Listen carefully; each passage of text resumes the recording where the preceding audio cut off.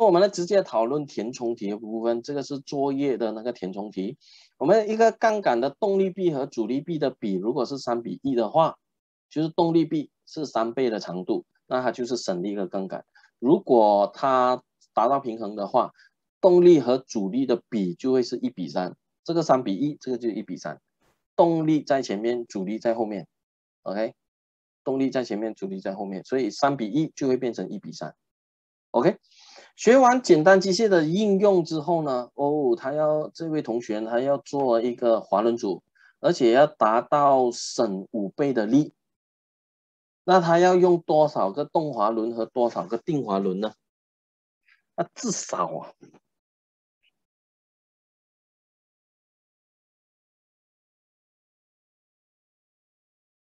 至少要用多少？诶，两个动滑轮。如果两个动滑轮，应该要两个定滑轮吧，省五倍的力。我个人是觉得两个啦，两个动滑轮，两个定滑轮，五倍省五倍的力。然后我们来画一下，就是其实就是那个课本的情况，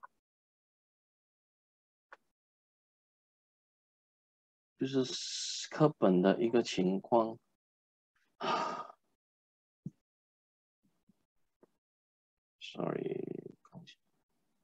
Sorry，OK，so 两个动滑轮，呃，两个定滑轮，我们画的时候是大概是这样子画。简单的话，我就画一条线了。OK，后一个勾画一条线，一个大一个小，这上面的大，呃，上面的小，因为靠近勾那里比较小，这样子。OK，so 这重量，如果要五根连的话，应该是这样子做，一。嗯，OK，所以一根、两根、三根、四根、五根，OK，两个动滑轮，两个定滑轮。第三题，如果我要呃使到拉力更小的话，那我就要减少坡度啊，减少坡度可能就是变成这样的样子，哎，减少斜面的倾斜度。或者叫坡度，OK，两个叫法都可以。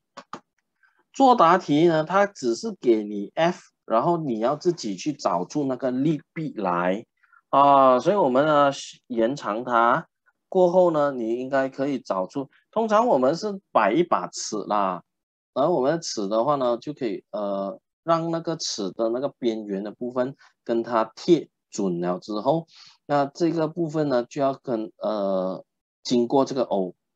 你调整到某一个位置呢，你就可以看到它，哎，这边是有一个垂直，这样这一条呢就会是你的利弊了。OK，同理这一个情况啊，这个情况，呃，虽然这个重物重物其实如果要画的话呢，那个利弊主力臂在这边，啊，但是它只是要看 F 的利弊嘛，也就是这一边。所以，甚至你的这个英镑可以是 L shape 的嘛？哈，L shape 的情况，然后呃，垂直的话应该是在这个位置，这一边垂直，这个就是你的 L 了。所以要分辨哪一个是利弊来讲呢？是在这一个华文版本呢，我们非常呃注重的啊，至少至少是考。学校考试可能好像没有出过，但是你可以看到作业啊、课本题啊都有了。呃，有可能以后会 要让你们画。我个人是觉得是蛮好的一个 practice 来的哦。这个呃，我觉得是是非常重要的。All right，好了，我们来看，有人开麦有问题吗？不小心开到啊。OK，然后我们来看一下第二题，如右图所示，这个图中的杠杆处于平衡的一个状态，那物体的重量是 F1，物体是这个 B 的物体吧？然后呢，这个弹簧秤就是这个弹簧秤这个 C 的读数为 F2，然后呢，F1 乘以 OB 啊，然后。再来，F 二除以 OA，提示 OC 才是真正的利弊。你认为这个结论对吗？所以这个结论错了，因为利弊这个利弊来讲，你这样子来连接，就代表你的利弊应该是 OC，所以开麦。呃，这个利弊应该是 OC，不是 OA，所以这个 OA 的这个结论呢是错了的。OK，so 这个结论对吗？不对啦，啊，原因是什么？原因是因为弹簧的拉力的力臂呢不是 OA，而是 OC。OK，这边还有给你 OA 是五十 cm，OB 是二十 cm，OC 是三十 cm，OC 又垂直 AC。啊，那 B 吊着物体是三十牛顿的话，请问弹簧秤的读数会是多少？所以我们用回这个方程式，只是把 OA 换成 OC，Fe 是等于三十牛顿乘以这个 OB 是二十 cm，然后 F 二是它那个读数，OC 就会是三十 cm。那三十跟三十约减了之后呢，F 二呢就会是二十牛顿，所以这个弹簧的读数呢就会是二十牛顿了，有没有问题？？OK，没问题啊。好，再来看一下第三题啊，第三题这一题，如右图呢，我们的起重机的这个单臂呃结构图，重量这个重量是两千四百牛顿，呃。的货物悬挂在这个滑轮组，这里有滑轮组吗？哦，它有两个小轮呐，啊，说大算是滑轮组的一个情况啊。这个钩绕这个滑轮，然后呢，在这里又绕另外一个环了。OK，所以这个拉力的 F，匀速上升。哦，这个铝。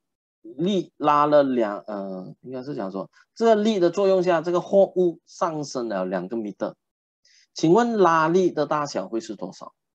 这个严格来讲，这里有一条线，啊，这个要一条线，这里有一条线，所以是三根线。我的这个重量哈，两千四百牛顿，我就要除以三，有三段绳子，好，除以三就会得到八百，所以这个 F 的拉力是八百牛顿。过后很多时候呢，他就会叫你去计算功是多少。很多人就讲：“哎呦，我八百牛顿乘以两个米的咯，这是错了。为什么？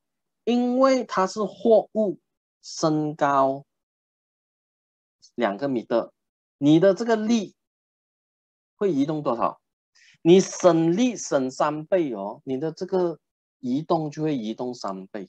也就是说，你的如果用八百的话，你就要乘。六米的哎，六八四十八，四千八百，或者我们可以直接去看它的货物升高两个米的吗？货物重两千四百吗？你就用货物的重量乘以这个货物升高的这个呃高度就可以了。好，你有两，呃，你这个做法是用重量的那个位置来去看。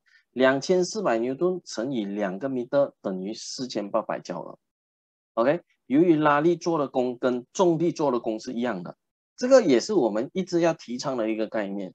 这个功来讲呢，它是不管是在重力的那一个那一塞，还是我们的力动力的那一塞，这两个功必须要一样。简单机械它没有加入啊，它没有加入电，它没有加入其他的能量。所以功来讲呢，左右呢必须要一样。再来这一题呢，它又要去教你计算啊机械力，省一三分之一的力。那你可以讲说两千四百 除以三啊八百等于三啊。当然我们可以直接看出来，其实是等于三啊。都为了给他看到你的计算，所以我们就讲哦，根据 m a 是等于 f prime 除以 f。我们就知道它是两千四百除以八百等于三，所以机械力也是三。可以啊。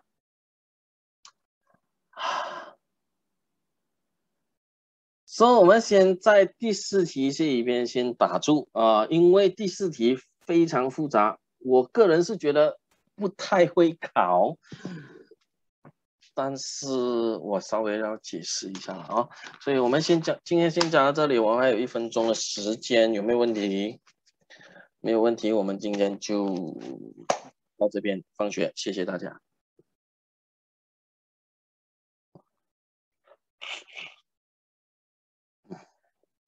OK，那我们从第六章的，呃，我无关其境来，呃，第六章的这个，啊，作业题，OK，那我叫人，然后从第一题开始。我记得我的简答题已经讨论到一，呃，差剩下一题罢了，所以没关系，这个作作答题，呃，我们先讨论这个，呃，选择题，作业的选择题，来。啊，从下面呢，每次从上面开始。呃 j a c q u i s 林昌伟，来，索罗同学呢，他在农地呢，帮他的爷爷撬动这个泥土。哎，答案是 C，这么快？哎，我我的我还没有看到海来，哎，我要放放海来。刚才谁进来呀？没有看到那个人。OK，答案是 C 啊。哎，还有谁刚刚进来没有看到的？没有点到你，哦 Recall 进来了。哦，应该是 Recall 了。OK，你们有名单？瞄一下就知道了。OK，好，来看啊这一题啊，这一题它其实讲说，呃，杠杆的支点的位置要正确啊，然后你才可以省力。那他要问的是，省力杠杆的支点，下列的说法正确的是哪一个？支点所在的处与动力作用点和阻力作用点是没有关系的。呃。就是说，它的支点会在哪里？是跟自动力作用点在哪里，跟阻力作用点在哪里呢？是不会影响到它的。OK，说只是要省力的话呢，我们的这个重呃支点呢，呃，必须要使到那个动力作用线跟它的距离，呃，是是足够长的哦，就是那个动力比了。哎，这题其实中国题了，我们也我们很多老师看了之后都看 看不太懂啊，是什么意思？啊，你可以看到其他的其实不是很理合理，啊，支点一定在重力作用点和这个这个不可能，呃，这个未必嘛，我们可以做这个支点在末端的第二的这个呃第二类杠杆哦，所以这个错的支点。一定距离动力作用点比较近，距离主因作用点比较远。这个我们不是看点，而是看作用线跟它的垂直距离。啊，然后支点不受力，其实不是的，我们支点也会承受非常大的力量的，只是说很多时候我们就呃这个力量呢，我们是没有考虑在内，因为经过支点的话，它的这个力臂呢会近近乎零，所以呢在整个旋转上呢是没有一个效果，所以呃这个答案呢，你用排除法呢，你就会看到 C 才是比较正确的。好，呃最下面的最下面的呃。罗伊信，第二题，这个有位同学，嗯，娜美同学呢，他叫在 DIY 家具啊，新买的 DIY 家具，然后短的这个螺丝起子，他费了很大的力气，然后换了比较长的，他就觉得，呃，省力很多。那关于这个螺丝起子的长短和它力臂的的关系，哪一个说法是正确的？呃，支点到阻力作用点的距离叫做阻力臂，支点到动力作用线的垂直距离叫做动力臂，动力臂加上阻力臂的长度等于杠杆的全长。呃，为什么要放问号嘞？这么没有信心吗？哈，啊，是的。这一个我们讲的是不是作用点啊？这个点在哪里不是很重要，重要的是重力作用线，啊，阻力作用线跟它的垂直距离跟支点的到支点的一个垂直距离，才叫那个力臂啊，所以这个才是动力臂，这个阻力臂是也是作用线的啊，啊，动力臂加阻力臂未必是全长的啊，除非你是垂直于这个杠杆啊，那才是这个杠杆的全长，如果没有的话呢，这个是也是未必的，杠杆上有力，该力的。呃，力臂大小就一定不为零，它可以啊。经过支点的话呢，它的这个力臂就会为零啊。而且我们讲说，呃，有有一定会有力经过支点的，来，呃，支点那里其实都会有力的，只是我们呃有时候是没有没有讨论这样子。好，第五呃第三题，张勋之进来了吗？应该是进来了，嗯，有点到。OK，呃，勋之，下列哪一个仪器呢或工具呢在使用过程有利用到杠杆原理？量筒、试管夹，啊，因为这个是试管夹，很呃，就是试管夹，你夹末端，它就会前面就会开掉啊，呃，中间那个有点像弹簧这样子的那个铁，啊，铁铁的那个部分，啊，是它的支点啊，所以这个试管夹。呃，的确是有用到杠杆的，弹簧秤、呃，地管，呃，这些都没有了哈。地管用到了气压的原理，啊，弹簧秤用到了那个虎克定律的那个啊弹簧的力量啊，然后量筒应该没有什么，呃，OK，阿基米德的那个排水法的那个原理了。OK，第四题，呃，Terence。两个小孩做跷跷板，跷跷板平衡的时候，应该要怎样的？那这边还没有讲清楚，应该是两个小孩他的重量是不一样的，比较重的那个，哎，这里没有，他讲说两个小孩的重力呢一定会要相同的，或者是两个小孩的支到支点的距离一定要相同，或者轻的小孩，呃，距离支点近一点。重的小孩距离距离支点近一点，哪一个？所以 B、C 跟 D 呢，就是说它可能会有一个重一个轻的情况。Yes，Terence 是你啊，冬季重的要近一点，OK。所以 A 跟 B 就觉得说不可以啦，它一定要两个重力是要一样的，就要一样轻，它才可能会平衡。啊，C 跟 D 呢，就讲说不不一定的，有一个重一个轻，只要那个比较重的靠近支点一点啊就可以了啊，所以的确是这个呃这个东西呢是正确的，OK，重的那个要靠近一点，它的重力作用线呢，呃重力重力作用线到支点的距离，就是它的力臂就会短一点，OK，第五题。佳敏，徐佳敏，海婷，呃，这个其其实前面是废话来的，就是他要问的是一个杠杆处于平衡的时候，则杠杆一定是怎，一定是静止不动的，还是一定是做匀速运动的，还是做匀，呃，变速运动，还是可能静止，也可能是匀速运动，这个是一个规则来的，我们有特别提到是吗？啊，我们提到说。这个平衡状态呢，它是可能是静止或者是匀速转动的情况。之前我们初一读的是匀速直线运动才是啊，因为那个是没有那个支点嘛，所以有支点的作用的话呢，它就是匀速转动的。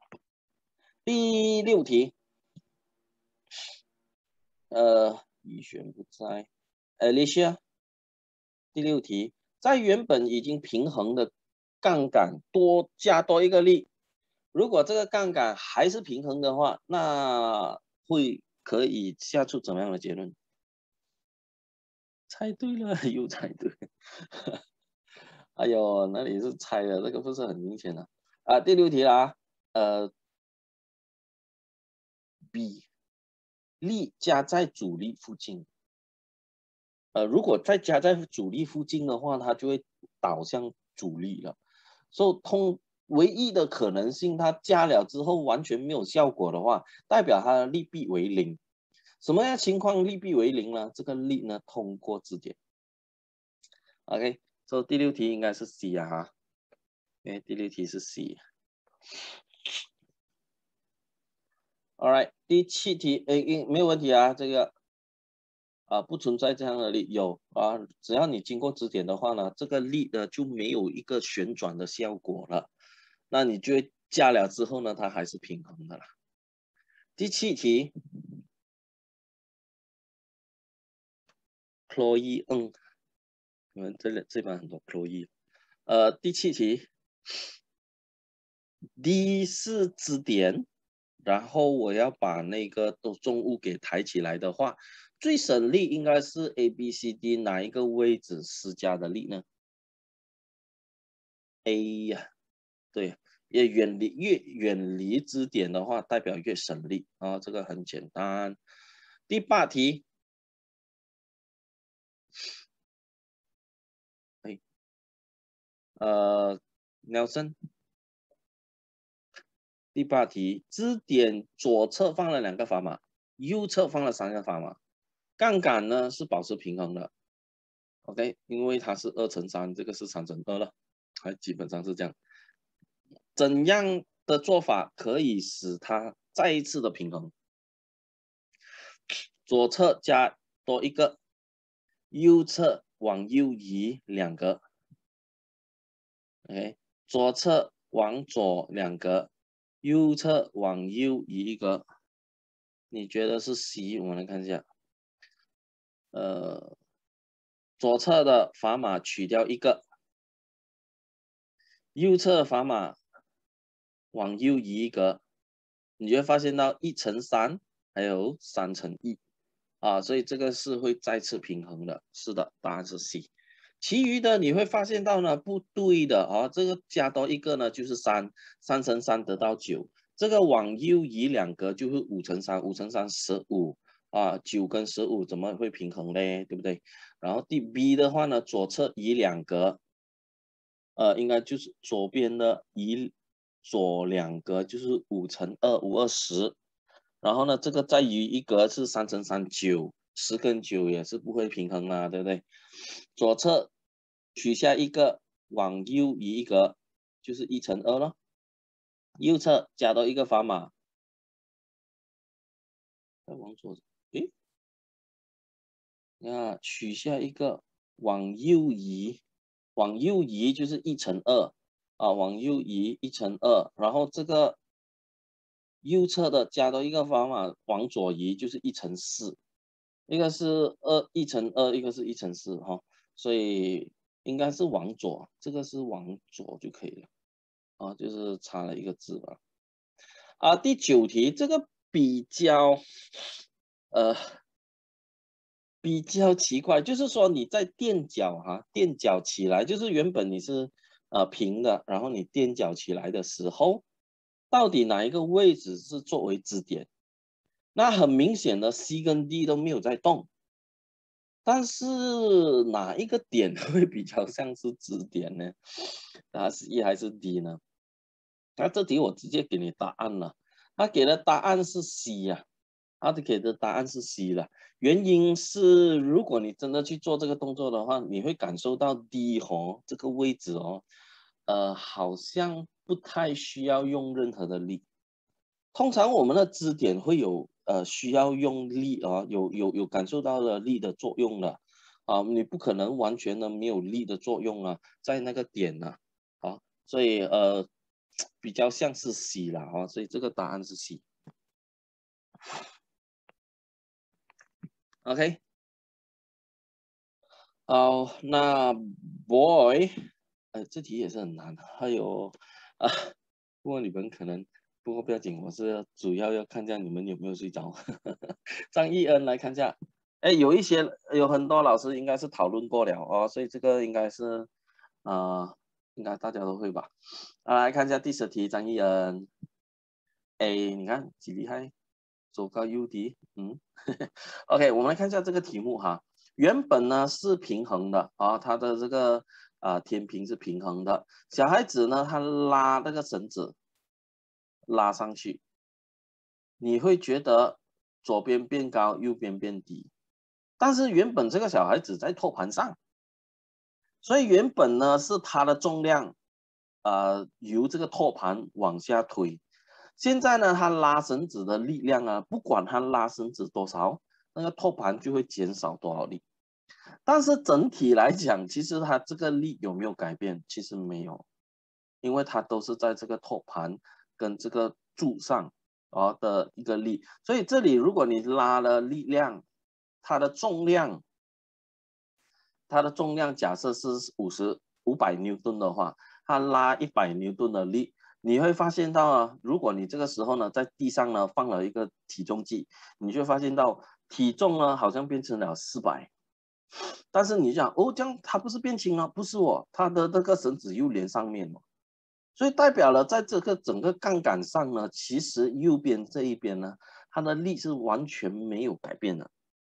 所以这一题哈是仍然保持平衡的，OK，这个是仍然保持平衡的。我不知道你们的 老师讨论的时候有没有讲，OK，说这题答案是 C。这我我觉得应该不会出到这这个题型的。不过中国很喜欢出这种题目的哦，啊，中国很喜欢出这种题目，好像 IQ 题这样子，哈哈，这感觉上好像跟我的课程啊好像没有什么关系。第十一题。呃，李克明，下列关于动滑轮和定滑轮的说法，正确的是哪一个？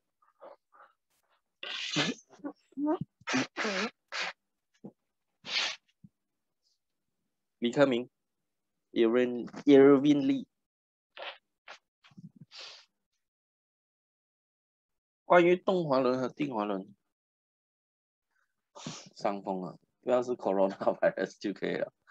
应该是鼻塞啦。之前前阵子我还嗅到一些烟味，然后我就问我老婆，就有烟味嘞？她讲没有嘞，我没有嗅到。然后我上网找，他讲说可能是你的，呃，可能是鼻窦炎，然后鼻子塞。但是我之前鼻子没有塞哦，现在突然间塞了。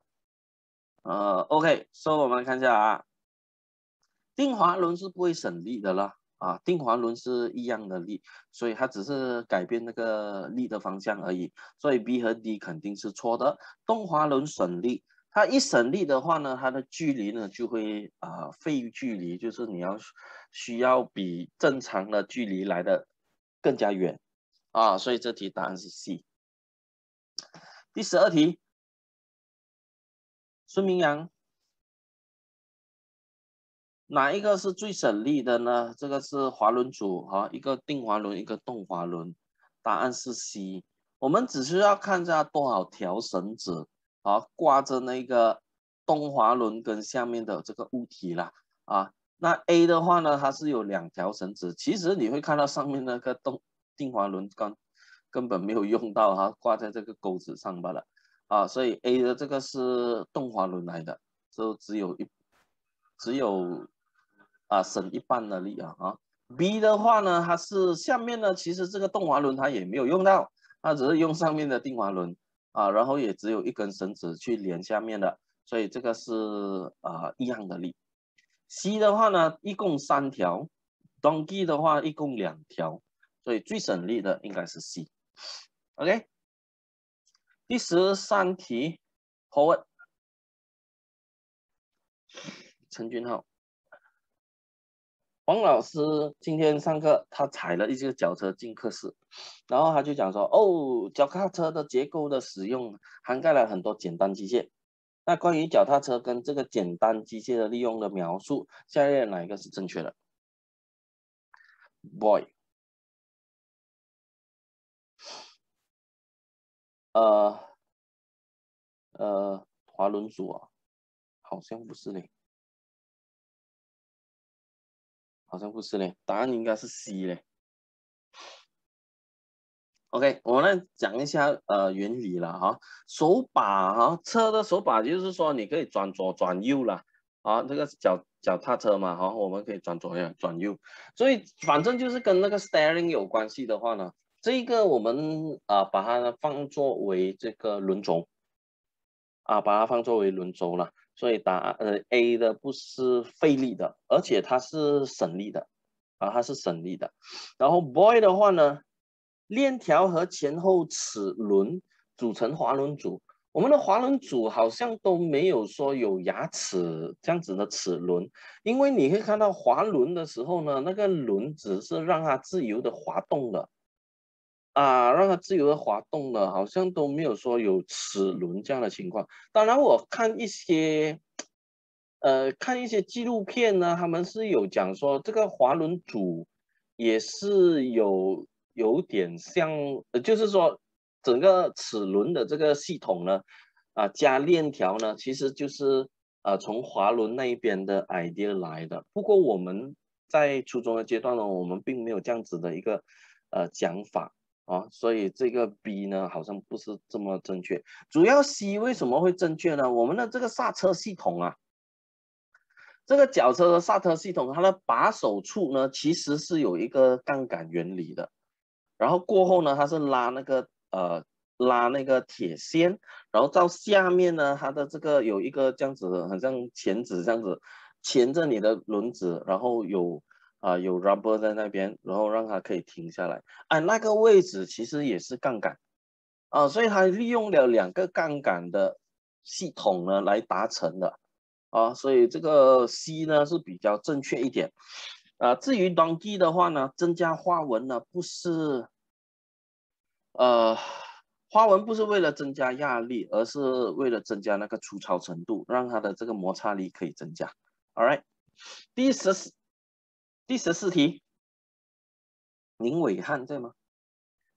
第十四题，这个是有一个大的半径跟小的半径比，半径比是五比二。如果这个重物是十五牛顿的话。哎，我叫林伟汉哦。总体，我来啊，我们看一下，哎，我可能要用笔来算一下的。